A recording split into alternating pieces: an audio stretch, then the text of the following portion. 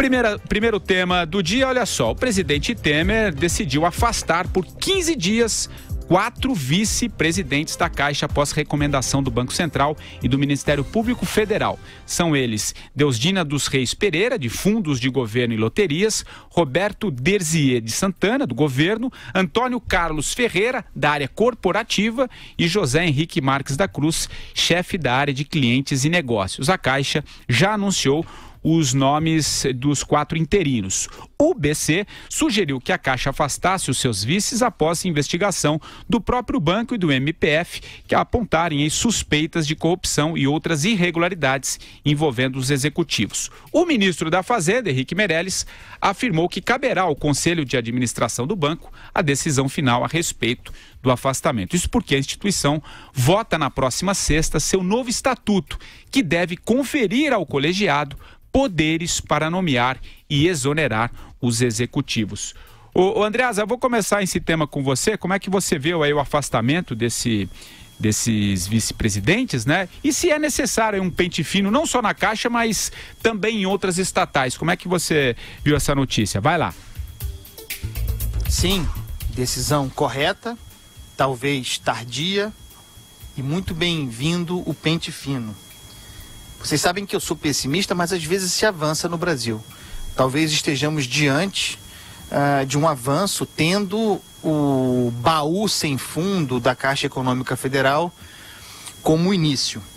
Vocês vejam que uh, a ideia de um conselho de administração uh, definir, portanto, um colegiado, definir os vice-presidentes, os 12. Talvez haja presidentes demais, vice-presidentes demais, essa é outra discussão mas que caiba ao conselho de administração do banco a decisão de nomear e exonerar, uh, é uma coisa, é, sinceramente, tão óbvia. Né? É uma coisa, sei lá, anos 80 e hum. o Brasil está chegando lá agora. Muito bem-vindo. Há uma lei, a Lei 4.595 de 64, 1964, que dispõe sobre instituições financeiras. É aquela que prevê que diretores de bancos públicos, no caso da Caixa, devem ter reputação ilibada. Está aí definido em lei o critério. Se há entre os 12, quatro contra quem há investigações, há suspeitas, investigações no caso da Polícia Federal, ponto final, não podem ser.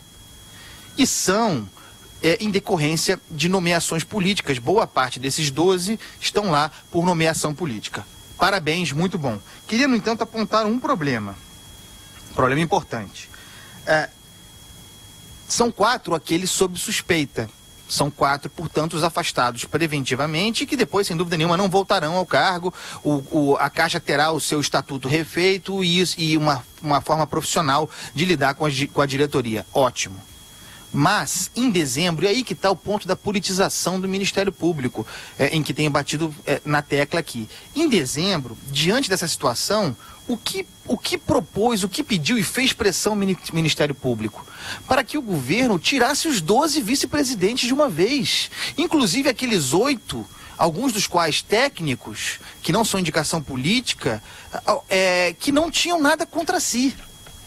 Qual é a intenção de uma recomendação como essa, de que se tire os 12? É paralisar o governo. Por que não pediu exclusivamente o afastamento dos quatro afastados agora? Então, há muita complexidade nesse troço, mas avançamos. O que, que você acha, Madu? Eu acho que tem roubalheira nessa história, roubalheira grossa. A roubalheira na Caixa Econômica começou já há bastante tempo.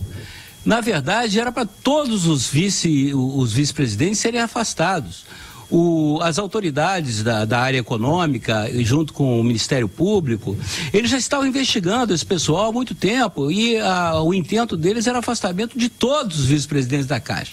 Negocia de lá, negocia daqui, como tudo nesse governo do Temer, acabou sobrando para quatro, que deviam ter as costas menos quentes, né, padrinhos mais fracos. Se sabe, se sabe, né, se, se cochicha por aí, que a Caixa Econômica Federal ultimamente era feudo do Eduardo Cunha e do Moreira Franco. Né? Vamos investigar isso. Vamos investigar isso. Todo mundo sabe que a Caixa Econômica Federal está cheia de créditos podres. Né? Tá, é, tá de esqueleto apodrecendo dentro do armário. Então, é, é, o que se está fazendo é pouco.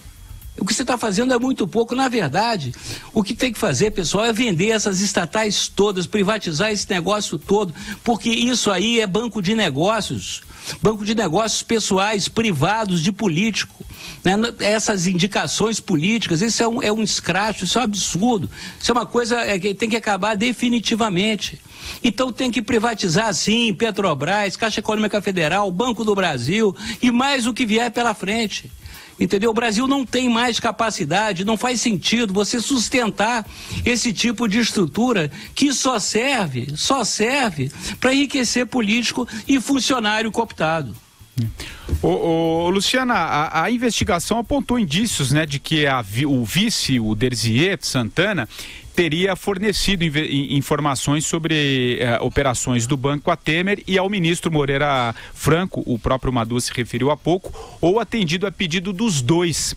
E falando hoje a jornalistas, né, aí em Brasília, o Moreira Franco afirmou que qualquer solicitação a Derzier ocorreu no âmbito funcional. Como é que isso repercutiu aí em, em Brasília, o afastamento, enfim, todas essas questões envolvendo o, o próprio Moreira e também o presidente Temer? Olha, o governo está tentando se defender porque ele está sendo criticado porque demorou muito a tomar uma atitude, porque essas pessoas que foram investigadas, elas tinham ligação, inclusive, muitas é, é, reclamaram que eram pressionadas, inclusive, pelo ex-presidente da Câmara, deputado Eduardo Cunha, que já está preso desde 2016. Então, assim, não houve uma reformulação, partidos políticos continuam e continuaram fazendo indicações, principalmente o PP PR, PRB e MDB, que fizeram o maior número de indicações políticas lá para a Caixa Econômica Federal. Agora, o, o que chama muito a atenção é que o governo está querendo capitalizar a Caixa também com recursos do Fundo de Garantia. É, é até uma ação que ainda precisa ser aprovada pelo Tribunal de Contas da União, que não gosta dessa ideia. Então, o governo tenta eh, minimizar aí as críticas que vem sofrendo, mas houve sim uma grande demora numa tomada de atitude. O, o Andreasa, puxando até o gancho do que disse também o, o Madureira há pouco, né, da, do uso desses feudos políticos, né, na, nas estatais, é, é, claro, todas elas costumam, né, alojar muitos aliados. Você acha que, eh, de alguma maneira, esse afastamento do, desses vícios pode atrapalhar um pouco, é, claro que corretíssimo pelo que a gente está avaliando aqui, mas atrapalhar um pouquinho na tentativa de aprovar a reforma da, da Previdência, já que normalmente são todas indicações políticas. Como é que você vê essa, esse questionamento também que acho que cabe aqui para a gente abordar um pouquinho? Eu acho que na origem do pedido, aquela do Ministério Público de afastamento dos 12 vice-presidentes, sendo que apenas quatro eram investigados, ali, como tenho falado aqui, como temos visto no caso da, da suspensão da posse da Cristiane Brasil, da paralisação da privatização da Eletrobras, há uma tentativa, uh, não à toa, vindo daqueles prejudicados no bolso pela reforma previdenciária para brecar esse importante avanço do Brasil. Não tenho dúvida disso, tá? É, dito isso, sim, tem impacto. Considerando também, eu concordo com Madureira, tá? É necessário, urgente, privatizar tudo, diminuir a superfície do Estado.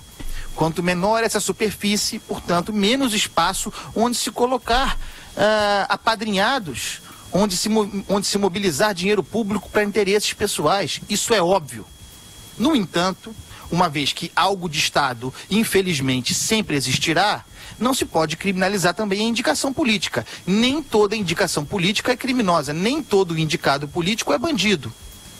Certo? A Luciana falou uma coisa importante, eu queria chamar a atenção, porque isso se dá, essa movimentação relativa à Caixa, no momento em que o governo, e é algo a se repudiar mesmo, uh, tenta negociar para a Caixa ah, o perdão ou a renegociação, não é perdão, é renegociação de dívidas do banco da ordem de 15 bilhões de reais ah, com o FGTS. O que isso significaria? 15 bilhões, ou próximo disso, liberados para a Caixa fazer operações, para fazer investimentos, para liberar crédito no ano eleitoral. Lembrando também que o Eduardo Cunha, nessa última, nessa último pedido de condenação, é, o, FG, o FGTS faz parte. Então vocês vejam que há também muito dinheiro no momento em que se mexe nessas vice-presidências. É bom ficar atento. Legal. Alguma coisa, Madu?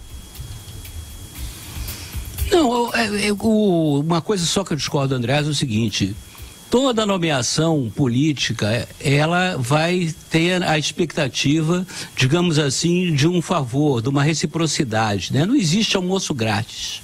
Ainda mais no campo da política. Então, não vejo sentido, Andreasa, é, em nenhum, nenhuma empresa é, que é estatal ou paraestatal, é, eminente, é, é uma empresa de é, operação técnica, você tem indicação política, não vejo nenhum sentido. Entendeu? A não ser realmente você obter, através dessa indicação, algum tipo de vantagem, né? algum tipo de remuneração extraordinária. Eu não consigo entender como é que você pode admitir uma indicação política para uma diretoria do Banco do Brasil, da Caixa Econômica, da Petrobras, do Correios, entendeu? Não faz sentido. Entendeu? Por que, que os políticos têm esse direito? E é o zero e vezeiro, eles fazem isso para ter aquilo ali, é, um, é, mais uma capitania hereditária. Eles botam o pé lá, botam lá um protegido seu, um único, um único objetivo, né? De abrir o cofre. É. Bom, gente, Ô, Madu, vamos... eu entendo o seu ponto. Patrick. Claro, vai lá. Eu entendo o ponto do Madu. De fato, não faz sentido. Não faz sentido. O que não significa, não fazendo sentido, que toda indicação política represente uma atividade criminosa, que o indicado seja criminoso, que vá cometer um crime. É, é algo que devemos combater? Devemos. Só que é, enquanto houver essa superfície grande do Estado e é, couber ao político fazer uma indicação, ainda que técnica, essa indicação será sempre política. Não tem jeito. Queria aproveitar, Patrick Santos, e fazer uma observação importante aqui relativa a um assunto. Ah, mais uma vez, e é evidente que tem a ver com o fato da gente estar aqui criticando o Bolsonaro, ah, tentando entender esse fenômeno e fazendo críticas duras, voltam esse papinho e eu quero esclarecer, de financiamento do BNDES. O camarada está dizendo aí, ah, o Andreasa é, quer privatizar tudo menos o BNDES. Não, quero privatizar o BNDES também, eu não tenho nada no é. BNDES. O BNDES faz empréstimo, libera crédito, faz empréstimo para empresário. Eu sou empregado deixar bem claro, eu não, nunca recebi, não, não é ilegal, hein? Não é ilegal, mas eu nunca recebi, nunca lidei com um real de dinheiro público, muito menos do BNDES. Não cola em cima de mim isso não.